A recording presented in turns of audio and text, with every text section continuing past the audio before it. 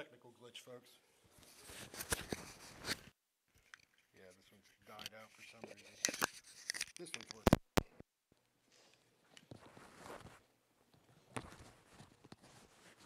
Proceed. Okay, now we're on. Uh, where was I? The prayer, many people are prayerless. Oh, yeah, that's right. So, uh, and for the non-Christian, pray that, you know, God might be stirring them up to think about spiritual things and that they're not going to live forever as none of us are. And God is, as I've said before, more concerned about your spiritual health and salvation than he is about you being healed in the body. That doesn't mean he doesn't want you to be well, but he wants you to be saved. That's the bottom line, and that's why Jesus came. So just remember that. Pray.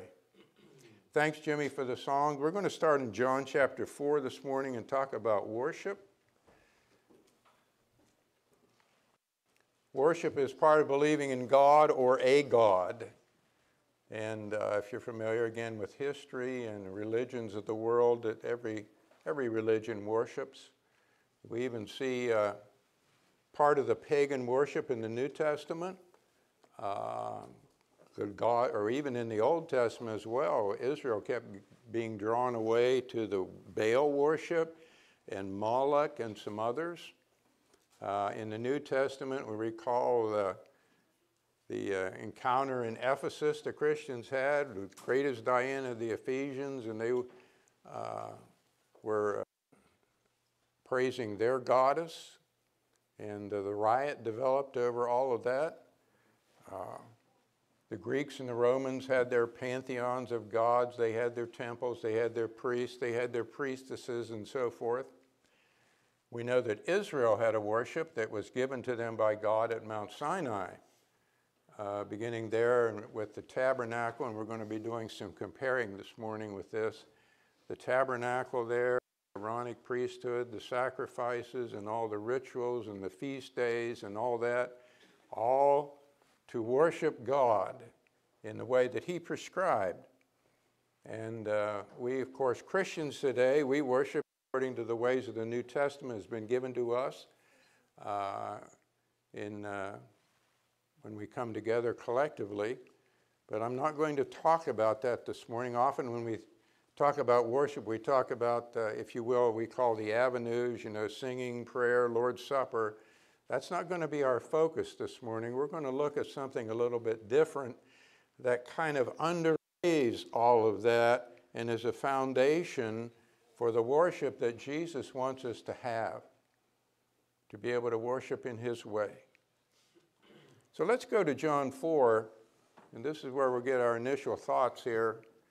Uh, Jesus was passing through uh, Samaria, and he sat down there at the well. Many of you remember this story, and he was thirsty, and he wanted to get a drink of water. Now, just a note on the Samaritans, for those of you who may not be familiar with them they were a group of people who, who were uh, living in Samaria at the time of Christ, and their uh, forefathers' roots came from when the uh, Israelites were taken into captivity and they went to Babylon. And there were some of the people that were left behind, some Jews, some very poor Jews. And then uh, the Babylonians resettled some other people in Canaan. And these Jews who were left behind intermarried with these folks who were resettled. And so they were not full blooded Jews, all right? They did not have a full blooded ancestry. Well, when the Jews returned from captivity, there became this tension between the two groups because the full blooded Jews who had gone into captivity and came back did not want to accept these Samaritans who were half, half breeds, if you will. And so this tension developed, uh, and they were, they, the Samaritans were not allowed to go to the temple in Jerusalem, and they developed their own worship there around Samaria at a mountain called Gerizim. So that's a little foundation here, and you'll see this developed as we go to verse 15 in chapter 4. And Jesus has asked this woman of Samaria there at the well for a drink. And the woman said to him, Sir, give me this water so I will not be thirsty nor come all the way here to draw. He has talked to her about living water, and if someone drinks water, that water, they will never die. And she says, wow, I'd like to have that water. We know Jesus in another place, you know, talked about, Come to me, all you thirsty, and so forth. Verse 16, he said to her, Go call your husband and come here. The woman answered and said, I have no husband. Jesus said to her, You have correctly said, I have no husband. You have had five husbands, and the one whom you now have is not your husband. This you have said truly. The woman said to him, Sir, I perceive that you are a prophet. Our fathers worshipped in this mountain, that's the one we mentioned, Gerizim. You people say, meaning the Jews, that in Jerusalem is a place where men ought to worship. Jesus said to her, Woman, believe me, an hour is coming when neither in this mountain nor in Jerusalem will you worship the Father. You worship what you do not know. We worship what we know, for salvation is from the Jews. And obviously, he's speaking about himself because he was a Jew, and that was the prophecy made and promise made to Abraham and you and your seed, all the nations of the earth will be blessed. And he was the one, that seed sitting right in front of her at that very moment. Salvation was of the Jews and is of the Jews through Christ Jesus. 23, but an hour is coming and now is when the true worshipers will worship the Father in spirit and truth. For such people, the Father seeks to be his worshipers. God is spirit, and those who worship him must worship in spirit and truth. You noted the disagreement they had there about where to worship. Mount Gerizim, there, the mountain around Samaria, or in Jerusalem at the temple. Jesus, in a sense, chooses not to take sides in this dispute. As, we, uh, as we've often called them, worship wars about how do you worship God. And uh, many of you have read books and heard sermons and so forth about how to worship. Uh, there's the, the old uh, disagreement about communion cups. Is it one cup? Or are you allowed to have many cups? Uh, should uh, the Lord's Supper be only on the Lord's Day or any day when you want to do it? Should it be on every Lord's Day or just some Lord's Days? You know, there's that discussion. Should we have praise teams or not? Some people have gone so far as to say, well, you should just use one translation of the Bible. We used to, we used to run into a lot over at the prison. And wherever people get the idea that the King James Version is the one that's actually authorized by God, we would hear that a lot. Of course, it's not true, but we would hear that. So, you know, we have all these discussions, and there was discussions then about worship, but Jesus says it's not about a place, but about what? An attitude of heart, a, a spiritual approach to God. True worshipers, true worshipers will worship in spirit and truth. In spirit, I think, means from the inner person, from the soul. It's sincere and it's genuine. And truth, you do what God says to do, uh, as written in His Word, in spirit and truth. I want, I want to point this out. And I've looked at every translation, not every, but numerous translations. There is no in before truth. So many times we pray and say, Help us worship in spirit and in truth. It doesn't say that. It says in spirit and truth. And I think that means the Holy Spirit meant that is one thing. You can't worship in spirit, but not in truth. And you can't worship in truth, but not in spirit. You, half of it doesn't work. It has to be both in spirit, from the heart, worshiping the correct way, in spirit and truth. Just a little aside there. So, we're going to pick up on this idea it's not a place. This foundation that underlays our worship when, when we come together, but not only when we come together, as we're going to see. So let's go to 1 Corinthians chapter 3, keeping that in mind about in spirit and truth, and going to the idea that worship is not to be done or not necessary to be done in a specific place. Under Moses, there was the tabernacle, and that's what they had in the wilderness and when they traveled, and it was a, a portable tent. We had the tents that we put up down at the Loop Festival. Well, they had this very beautiful arrangement where there was the holy place and the most holy and so forth, and where the high priest was. They brought their sacrifices. And then later on, when they went into the, uh, the promised land in Jerusalem, the temple was built. Solomon built the temple and it served the same purpose. And when they needed to offer sacrifices, they had certain feast days and so forth, they were supposed to go to the temple to worship, to offer these sacrifices. However, under Jesus, the arrangement is different. In 1 Corinthians 3, let's look at verse 16. Do you not know that you are a temple of God and that the Spirit of God dwells in you. If any man destroys the temple of God, God will destroy him, for the temple of God is holy, and that is what you are. Here in this passage, he is referring to, in particular, the collective congregation of the Corinthians. They were a group at that time that were divided. They had cliques. They were uh, not having the correct fellowship. They weren't loving one another the way they should. They were a divided group. And so, this is why he talks about destroying the temple of God. When you work to divide a congregation, you are destroying the temple of God because you are the temple. We are the temple of God because the Holy Spirit dwells in us.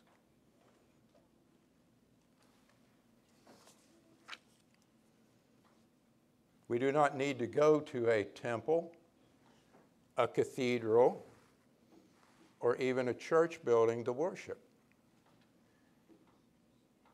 We read uh, a couple of different places in the New Testament about the church in people's homes. It's not about a place. You know, we, we get a feeling like this building is holy. And I think that's because we do holy things here.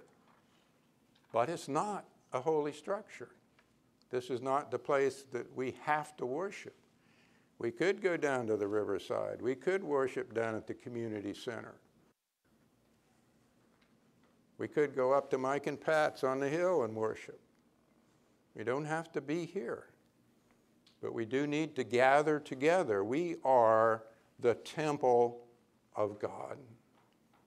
And that's a beautiful thing. And if you think about it, even as Matt said in his prayer, people that are under persecution in other countries. They can't, they can't assemble in a place. They can't have a place. They have to worship in secret because of their fear for their lives. And so, you know, God was anticipating this when He took away this requirement of coming to a place to worship that people can worship wherever they can get together as a body.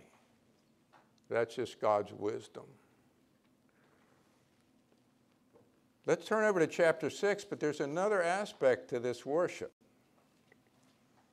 This is another beautiful thing about worshiping Jesus' way. It's superior to other ways and it's superior to uh, that which was established for the Jews for the Israelites.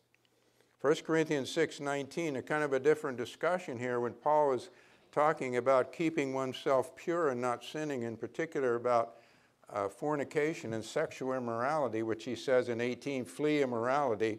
Verse 19, do you not know that your body is a temple? Now, here he's talking about individuals, not a collective body of Christ in an assembled place, but your body is a temple of the Holy Spirit who is in you, whom you have from God, and that you are not your own.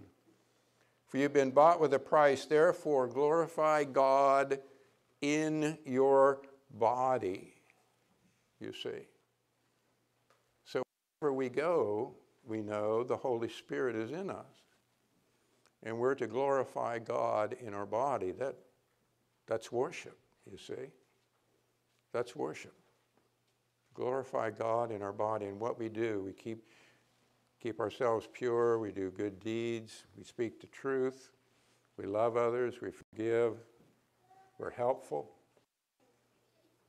So, Jesus' picture here of worship, worshiping in spirit and in truth, involves the inner person, it involves, involves the Holy Spirit, it involves us when we're together, and we are a part of, we have the temple of God. We are the temple of God within ourselves. The Holy Spirit is in us. Second thought, let's go to Hebrews 7. We're talking about we don't worship in a place, we are the place, collectively, individually. The priesthood under Aaron, or I'm sorry, under Moses, the priesthood was to be in the family of Aaron. Aaron was given the right by God to be the high priest, and from his family, his descendants, all the priests in Israel were descendants that were legitimate. And they were the ones to minister at the temple, to offer the sacrifices, and so forth and so on. Hebrews chapter 7 23. The former priests, meaning those under the priesthood of Aaron under Moses, on the one hand existed in greater numbers because they were prevented by death from continuing. Obviously, they died just like any other person. But Jesus, on the other hand, because he continues forever, holds his priesthood permanently. Jesus came back from the dead. He's living at the right hand of the Father there, reigning, but he's also a priest in his kingdom. He is our high priest now. And he offered his blood to the Father on our behalf. 25. Therefore, he, meaning Christ, is able also to save forever those who draw near to God through him, since he always lives to make intercession for them. He'll never die, so his blood is perpetual and his priesthood is perpetual, so he can save us, if you will, forever. That's how we can have immortality through him.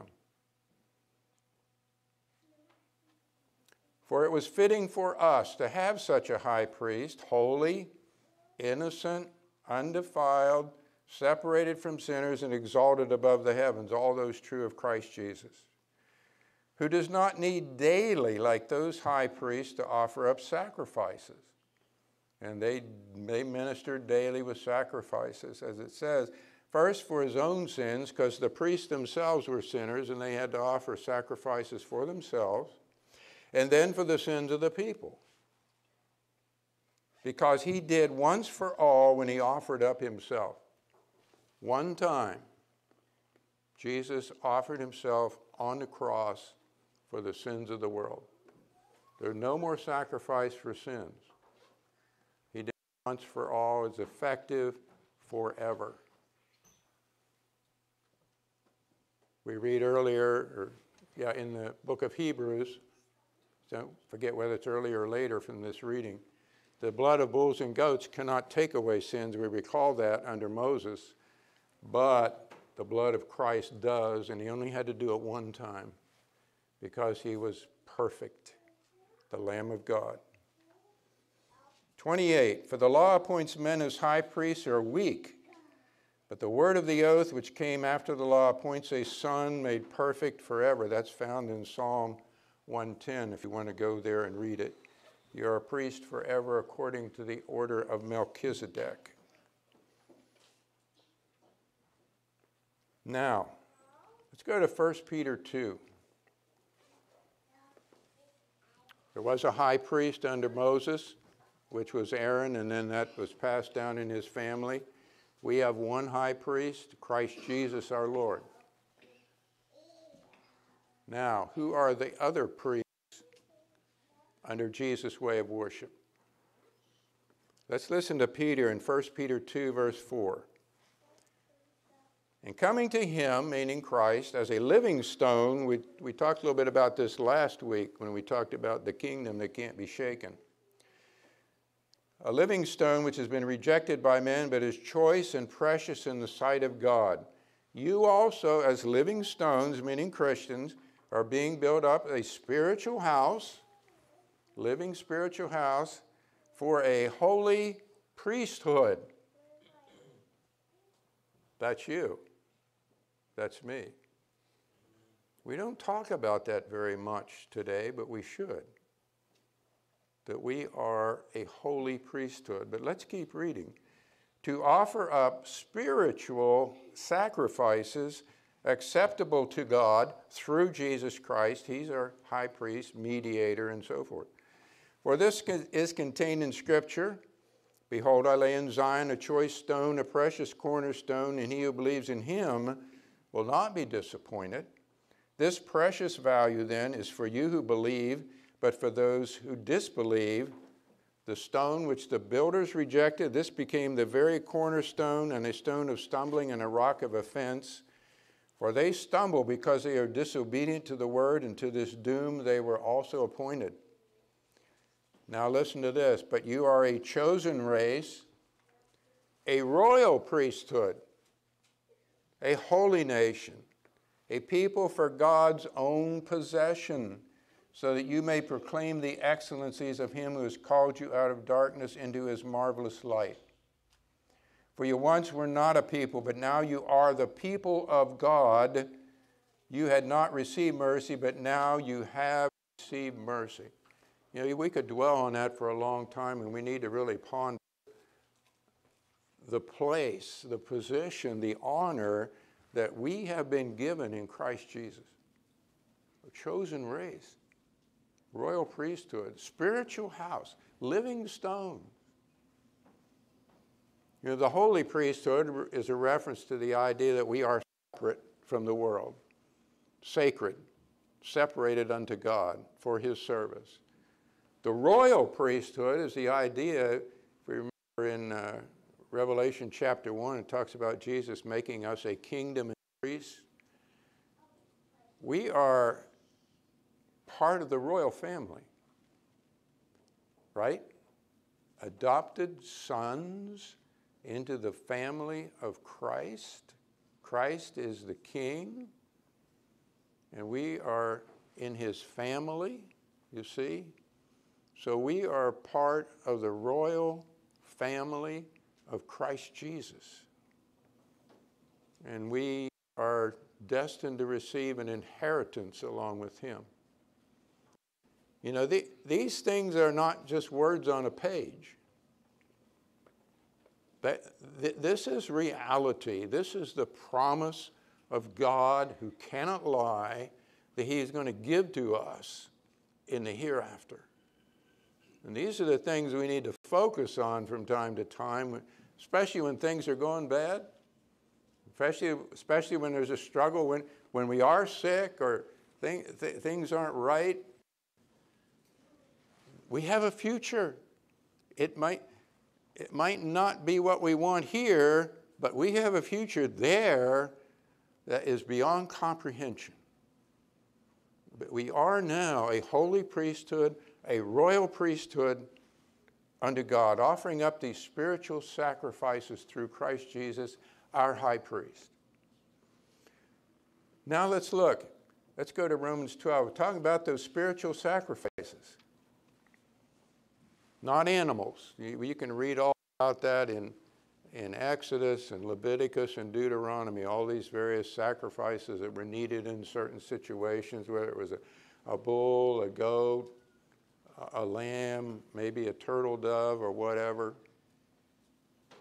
We don't offer those kind of sacrifices now, but we do offer sacrifices, spiritual sacrifices. The first one we want to see here in Romans 12:1, therefore I urge you brethren by the mercies of God to present your bodies we already talked about our bodies being the temple of God, temple of the Holy Spirit.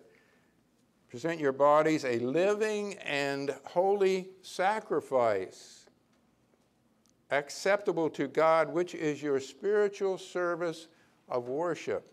Some translations say reasonable service.